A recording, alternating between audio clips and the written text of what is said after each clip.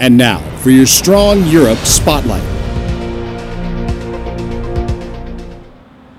More than 400 pieces of equipment from the European activity set were loaded onto a cargo ship in Bremerhaven, Germany. The equipment, including Abrams tanks, Bradley fighting vehicles, and Humvees, is set to be used in next month's exercise Trident Juncture in Zaragoza, Spain. The equipment will enable soldiers from Fort Stewart to support the exercise more efficiently and effectively. The Army right now is working to increase interoperability between its NATO allies. As a greater part of the mission, we're moving a lot of equipment around Europe right now. We're able to move equipment by land, sea, or air freely throughout Eastern and Western Europe.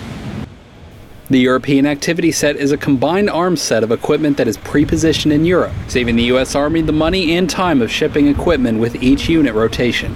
For more information on the Army in Europe, visit eur.army.mil.